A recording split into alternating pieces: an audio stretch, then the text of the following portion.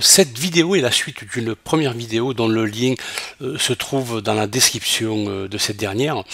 Donc outre les particularités euh, où je parlais des heures complémentaires et supplémentaires en droit du travail, j'expliquais comment rendre un tableau et une liste déroulante dynamique à l'aide de l'imbrication des fonctions décalées et NBVAL. Je vous invite donc à cliquer sur le lien ci-dessous dans la description. Je vais donc continuer à apporter les explications nécessaires sur l'élaboration de certaines fonctions, me permettant d'arriver à mon objectif final, à savoir le salaire brut d'un salarié, aussi bien pour un salarié à temps complet qu'un salarié à temps partiel. Juste pour rappel, bien sûr, nous nous, étions arrêtés donc euh, à la création d'une liste déroulante dynamique, hein, c'est-à-dire que dans, excusez-moi, dans euh, euh, l'onglet salarié, à chaque fois que je rajoutais un salarié, cette liste déroulante tenait compte, bien sûr, du nouveau salarié. Alors par la suite, j'expliquais aussi et j'étais arrêté euh, à cette donnée, je m'étais arrêté j'avais aussi expliqué comment renvoyer le nom automatiquement euh, par rapport à cette liste déroulante. Rien de plus euh, simple, euh, la fonction utilisée était la fonction recherche V. Alors bien sûr, je vais à présent continuer l'élaboration de toutes les formules que j'ai mis en place. Alors très facile aussi pour le, renvoi des heures par rapport au nom ou par rapport au matricule, hein, que j'ai bien sûr dans l'onglet salarié, eh bien, je vais aussi utiliser la fonction recherche V. Alors, encore faut-il savoir où se trouvent les données. Donc, pour la euh, première, deuxième, troisième et quatrième semaine, je vais aller de nouveau dans mon tableau qui se trouve dans l'onglet salarié. Donc, bien sûr, là, je vais calculer le nombre de colonnes qu'il y a. Donc euh, ma matrice, bien sûr, que j'avais appelée liste salariée, concernait cette plage de données. Donc euh, pour la première semaine, donc euh, la colonne se situe dans la première, deuxième, troisième, quatrième, cinquième colonne, sixième colonne pour la semaine 2, septième colonne pour la semaine 3 et huitième colonne pour la semaine 4. Donc bien sûr, si je sélectionne cette donnée, il va falloir, comme l'on peut le voir ici dans la barre de formule, par une recherche V, hein, je vais par exemple le refaire, hein, il n'y a rien de compliqué, donc je vais faire recherche V, donc égale recherche V, pour vertical. Donc la valeur cherchée, je vais me baser par rapport au matricule, bien sûr, donc point virgule, Ma matrice, je l'avais nommée liste salariée, donc je vais faire un petit F3 afin de faire appel à cette liste, liste salariée. Alors, j'avais dit que la première semaine se trouvait dans la cinquième colonne, point virgule, et je veux une correspondance exacte, donc je vais mettre faux. Donc, contrôle entrée, et de plus, autant pour moi, j'ai oublié, donc je vais le refaire, j'ai oublié de figer la cellule B1. Donc je vais revenir dans ma formule. Donc je vais figer la cellule B1 en faisant un petit F4, entrée, et là je peux bien sûr faire un copier-coller. Donc ou sinon je reviens ici, je fais un FD, un F2 pardon, pour revenir en mode édition, contrôle entrée pour généraliser. Donc là bien sûr, comme je l'ai expliqué, la deuxième semaine dans ma matrice que j'ai dans l'onglet salarié se trouve dans la sixième colonne. Donc je vais changer 5 par 6. Ici, pour la semaine 3, la donnée se trouve dans la septième colonne. Et pour la semaine 4, la donnée se trouve dans la huitième colonne. Voilà, rien de compliqué. Alors pour aussi le type de contrat, ben, je vais faire la même chose. Hein. Donc en l'occurrence là, si je retourne euh, dans l'onglet salarié, euh, ma donnée se trouve dans une, deux, trois, quatrième colonne. Donc je reviens ici, égal, donc j'efface éventuellement toutes ces fonctions afin de tout refaire. Donc égal recherche V. Alors je vais y arriver. Recherche V qui est ici.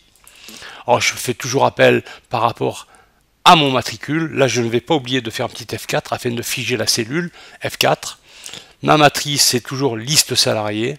F3 pour faire appel à ma zone de nom que j'ai nommée liste salariée. Et j'ai dit que c'était dans la quatrième colonne. Donc, je fais un petit je ferme ma formule, contrôle, entrée. Donc là, on peut voir que par exemple, le salarié 1, je reviens ici, eh bien un temps complet, TC pour temps complet. Alors je rappelle aussi, parce que je l'avais expliqué dans la première vidéo, TC euh, c'est le raccourci de temps complet et TP euh, c'est le raccourci de temps partiel.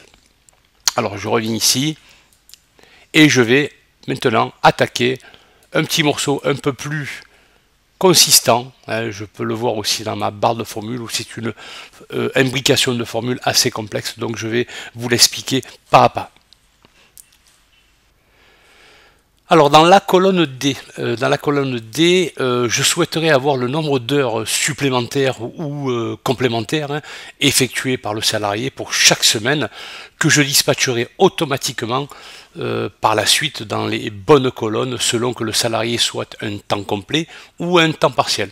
Alors afin de vous expliquer au mieux l'élaboration de la formule hein, que j'ai euh, dans la cellule D6, alors cette formule est euh, identique pour la cellule D7 à D9.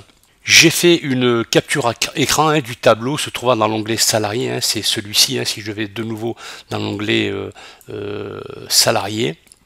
Alors j'ai fait une capture écran hein, afin, euh, pourquoi? Parce que je vais en avoir besoin dans, la constitution de cette formule et afin de, ne pas jongler euh, entre les deux, euh, entre les deux onglets. Alors juste pour rappel, hein, j'avais nommé au préalable cette plage de cellules hein, que j'ai nommé liste salariée. J'ai apporté dans formule gestionnaire de nom, mais ça vous, l'aurez dans la vidéo 1. Donc euh, là, la liste salariée, j'ai apporté quelques aménagements dans fait référence à, hein, afin que ce tableau soit dynamique. J'ai euh, procédé par une indication de fonctions, de deux fonctions décalées NBval. Et j'ai aussi nommé cette euh, plage de cellules afin de, pareil, automatiser ma liste déroulante qui est ici et j'ai procédé de la même façon. Donc une fois que j'ai nommé cette cellule, je crois que je l'ai nommé matricule, donc je reviens aussi dans formule et gestionnaire de nom qui est ici. J'ai apporté aussi quelques modifications que vous trouverez aussi dans la vidéo 1 afin que cette liste déroulante soit dynamique. J'ai dû euh, procéder à une petite euh, manipulation de deux fonctions, décalé et nbval. Je reviens sur l'onglet brut. Alors j'ai aussi procédé à euh, quelques petites modifications. Enfin modifications. J'ai nommé euh, le contenu des cellules D6 à euh, C6 à C9 type de contrat, comme on peut le voir dans la zone de nom, et je et matricule, rappelez-vous, enfin en tout cas dans la première vidéo, je l'ai nommé aussi matri. Alors toutes ces données que je viens de vous parler, je vais bien sûr les retrouver dans mon imbrication de fonctions que j'ai ici et que vous voyez dans la euh, barre de formule. Étant donné la complexité euh, de la formule, hein, comme nous pouvons le voir euh, à l'écran, hein, il va falloir que je vous donne quand même quelques explications que j'avais données aussi sur la vidéo 1, que je récapitule dans ce fichier sur Word. Alors voilà, donc juste pour rappel, hein, donc temps partiel, si c'est un temps partiel, alors et, payer normalement le nombre d'heures du contrat. Donc, euh, euh, par exemple, eh ben, s'il a 24 euh, heures, ben, il sera payé normalement. Donc, payé avec majoration de 10% si le salarié dépasse 10% du contrat. C'est-à-dire que si, ben, je vais, je vais vous donner un exemple. Hein. Donc, au-delà de ces 10% de temps dépassé, il sera payé 25%. Alors, un exemple.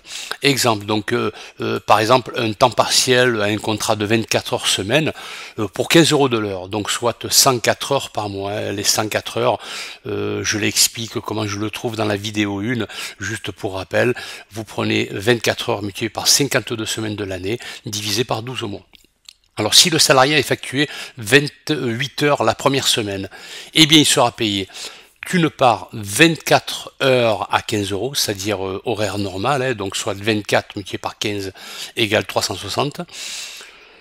Euh, comme il a dépassé 10% euh, de son temps, euh, je le limite à 2,40. 10% de 24, c'est 2,40 heures, majoré à 10%, soit donc 15 euros fois 1,10 multiplié par 2h40, donc il sera payé 39,60 euros en heure complémentaire.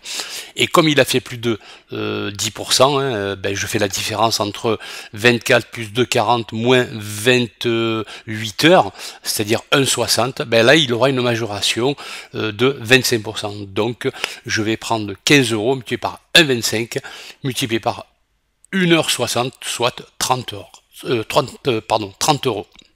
Alors bien sûr, à un moment donné, dans la formule, je vais devoir aussi euh, préciser à Excel que s'il fait bien sûr moins que 24 heures, c'est-à-dire moins que son contrat, euh, Excel devra me ramener 0. Euh, sinon, si je ne précise pas cette donnée, il me ramènera une valeur négative. Alors, pour un temps complet, ben, c'est la même chose. Euh, si la différence étant bien sûr essentiellement par rapport à son contrat, lui il ne peut avoir que en principe 35 heures ou plus. Ben, S'il fait plus de 35 heures, il aura une majoration de 25% jusqu'à 43 heures, c'est-à-dire 8 heures au-delà de 35. Et au-delà de 43 heures, ben, il aura 50% de majoration. Pareil, eh bien, si le salarié fait moins que son contrat, c'est-à-dire 35 heures, Excel devra me ramener la valeur 0. Donc voilà, euh, ces, explications devaient être quand même précisées euh, parce que vous allez voir, c'est une euh, imbrication de fonction qui n'est pas simple à comprendre au premier abord. Afin de suivre au mieux l'élaboration de la formule se trouvant en cellule D6, ben, j'ai mis la formule hein, de cette cellule euh, dans ce rectangle vert. Euh, cela vous permettra peut-être de mieux comprendre, en tout cas c'est le souhait euh, que j'ai, de mieux comprendre l'élaboration de cette formule assez complexe. Alors, je vais mettre en mode édition, ou plutôt me mettre carrément dans la barre de formule. Je vais un petit peu décaler l'infobulle. Alors, si alors j'ai mis un et aussi. Et pourquoi? Parce qu'il y a deux conditions cumulatives. Alors si le type de contrat, euh, là le type de contrat se trouve en cellule C6, euh, est égal à TP, c'est-à-dire un temps partiel, et que en plus euh, le nombre d'heures par rapport à son contrat et de 30 heures par semaine, par exemple, là c'est j'ai mis supérieur ou égal, eh ben, tu vas me faire une recherche. Alors bon, bien sûr, ça va être aléatoire, je ne sais pas au préalable euh, le contrat qu'aura ce salarié à temps, partiel. Est-ce que c'est un 30 heures, est-ce que c'est 24 heures? Alors donc il va falloir que je travaille avec la, la fonction recherche V et que j'aille chercher directement dans la liste salarié son contrat qui se trouve dans la colonne 9. Alors oui, en effet, matricule 1, 2, 3, 4, 5, 6, 7, 8, 9. Donc je vais travailler avec la recherche V. Alors, euh, valeur cherchée, c'est quoi? Ben, Valeur cherchée, c'est euh, par rapport à son matricule, euh, dans la liste salariée, c'est-à-dire la liste de données que je vous ai montré tout à l'heure, hein, où il y a tous les salariés avec les heures effectuées dans la semaine, ainsi que le contrat pour les temps partiels. Alors, je veux une valeur exacte, donc c'est pour ça que je mets faux. Alors, euh, donc là, je ferme la fonction et, euh, et je reviens dans la fonction euh, si afin de définir la valeur si vraie. Donc, si tel est le cas, eh ben, tu me prends B6, c'est-à-dire le nombre d'heures effectuées dans la semaine, et pareil, tu me le défalques du du nombre d'heures liées à son contrat. C'est pour ça que là, euh, je dois aussi travailler avec la fonction recherche V. Alors une fois que j'ai répondu à la valeur si vrai, hein, qui est à ce niveau, je euh, vais répondre à la valeur si faux. Ben, si faux, euh, donc ça voudrait dire que soit le contrat, enfin le nombre d'heures de la semaine est égal à son contrat, à partir de là je devrais avoir 0, mais surtout il faut préciser à Excel que si pour une absence, hein, euh, on ne sait jamais, euh, s'il fait moins que son contrat, ne me met pas une valeur négative. Tu dois me mettre une valeur égale à 0. Donc c'est pour cela que valeur s'il faut, je mets si et je dois aussi mettre une valeur et parce qu'il y a deux conditions cumulatives. D'une part, je dois lui répéter que c'est un temps complet ou c'est un temps partiel. Là, dans ce cas de figure, dans ma formule, j'ai mis un temps partiel. Et que en plus, si le nombre d'heures qui se trouve en B6, de, le nombre d'heures de la semaine, est inférieur ou égal, eh égal par rapport à son contrat aussi. Donc c'est pour cela que je parle de recherche V, donc toujours par rapport à son matricule. Toujours aussi va me chercher la table et matrice, ben c'est la même. Hein, euh, et euh, tu vas me récupérer la donnée qui se trouve dans la neuvième colonne. À partir de là, ben, valeur s'il faut, tu me mettras un 0. Pour terminer, je dois aussi euh, parler euh, des temps complets, donc je dois imbriquer un autre si et euh, parler de la même problématique hein, que les temps partiels, c'est-à-dire que ben, si le contenu de la cellule C6 est égal à TC, c'est-à-dire pour temps complet, et que le nombre d'heures est supérieur à 35 heures, ben, tu me mets 0, ben, sinon eh bien, valeur s'il faut euh, pour un temps complet, ben là je dois aussi le répéter que le, euh, type du contrat, donc je dois mettre un et, type du contrat égale TC, et que en plus euh, le nombre d'heures de la semaine est inférieur ou égal à 35, ben là tu me mets 0. Dans le cas contraire, valeur s'il faut, eh bien tu me prends le nombre d'heures réellement effectuées et tu me le défalques de 35. Alors je dois bien sûr fermer autant de fois que nécessaire qu'il y a de formules. Hein. C'est pour cela qu'il y a autant de, de, de de, parenthèse.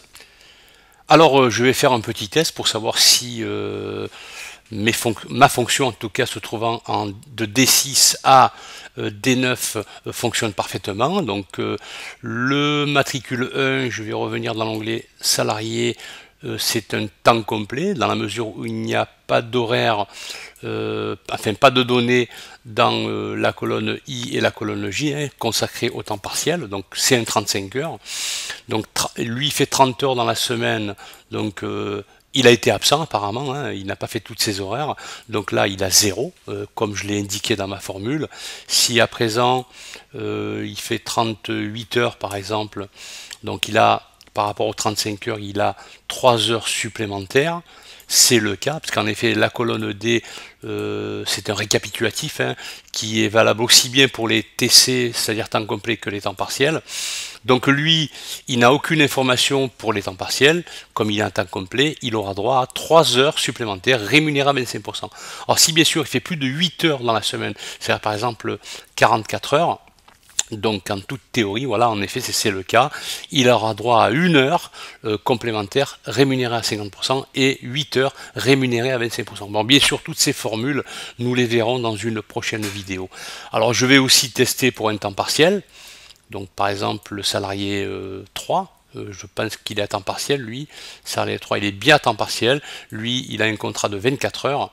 Donc je reviens ici, 24 heures, donc il a 24 moins 33, il a bien 9 heures complémentaires.